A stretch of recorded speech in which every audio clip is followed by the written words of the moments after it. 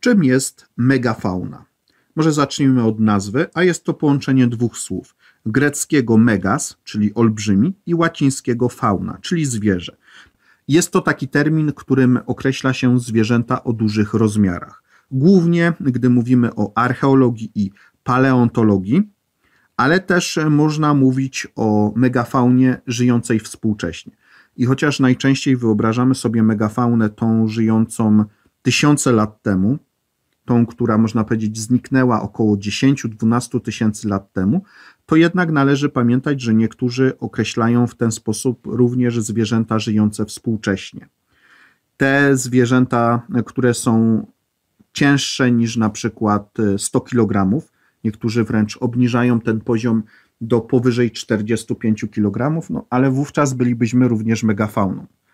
A gdy spojrzymy na tą bliską nam megafaunę, to oczywiście wtedy na przykład mielibyśmy tam lwy, niedźwiedzie, słonie, wielbłądy, no i wiele innych zwierząt, no po prostu będących dużymi. Ale pamiętajmy, że oczywiście głównie kiedy spojrzymy na to określenie, to w naszych wyobrażeniach jest e, ta megafauna, tak jak powiedziałem, ta, która wyginęła ponad 10-12 tysięcy lat temu.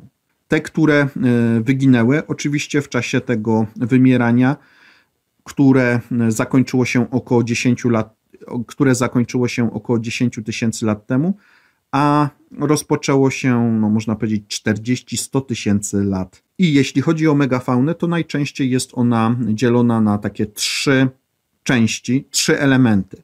Chodzi tutaj oczywiście o pozycję zwierząt, pozycję troficzną, czyli mega roślinożercy, mega mięsożercy i mega wszystkożercy. Oczywiście e, jest to uzależnione od tego, no, co dane zwierzęta po prostu jadły.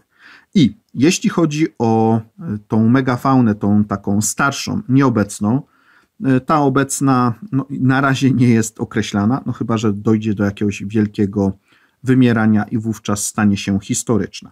I tak, oczywiście ta megafauna to głównie mamuty, nosorożce, nosorożec włochaty, różne trąbowce, które też osiągały bardzo dużo rozmiary, lwy workowate, lemury olbrzymie, pancerniki olbrzymie, leniwce olbrzymie, megalania, tygrys szablozębny, ptaki moa, ptaki moa, które przecież jeszcze kilkaset lat temu żyły i wiele, wiele innych zwierząt. Oczywiście, tutaj niektórzy oskarżają nas, ludzi, o to, że doprowadziliśmy do ich wyginięcia. Najprawdopodobniej jednak był to proces, który był bardziej skomplikowany. Ponieważ oczywiście, ponieważ tak, my byliśmy jednym z tych elementów, który doprowadził do wyginięcia tej megafauny, no takiej jak na przykład y, mamuty, y, czy też pancerniki olbrzymie, leniwce olbrzymie, czyli megaterium.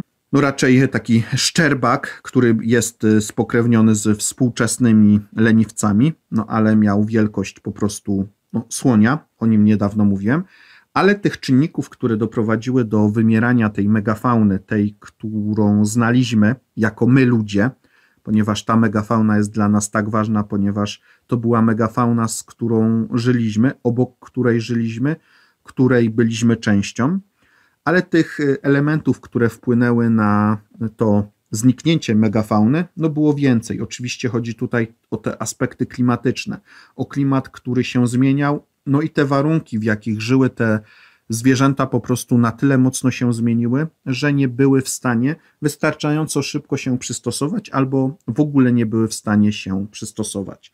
Do tego no, taki element dobijający, czyli na przykład my ludzie, no i w wyniku tego dochodzi do sytuacji, że no, ta megafauna po prostu znikła.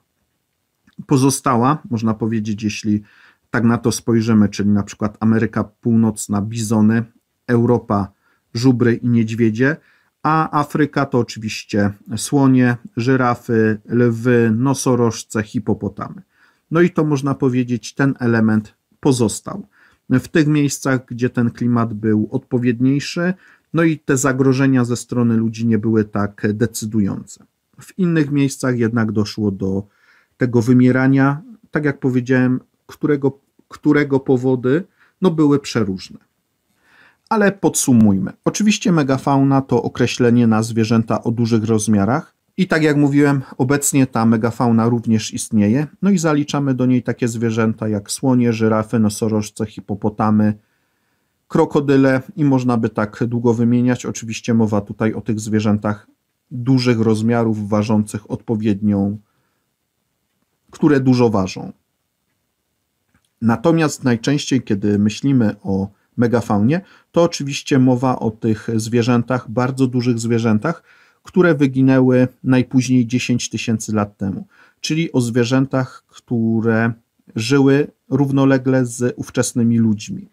O zwierzętach takich jak nosorożec włochaty, mamuty, trąbowce, lwy workowate, tygrys szablozębny, niedźwiedź jaskiniowy, megalania, megaterium, lemury olbrzymie, ptak moa i tak dalej, i tak dalej. Chociaż na przykład w przypadku ptaków moa one, wyginęły, one wyginęły stosunkowo niedawno, no i tutaj udział ludzi jest e, no, decydujący.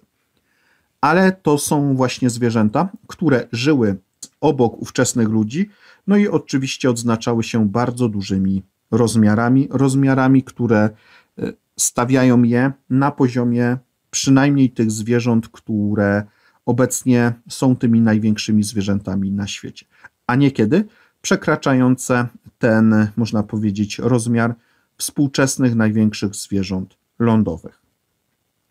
I oczywiście na kanale będzie więcej informacji o właśnie tego typu zwierzętach. Na dzisiaj dziękuję i oczywiście zapraszam ponownie.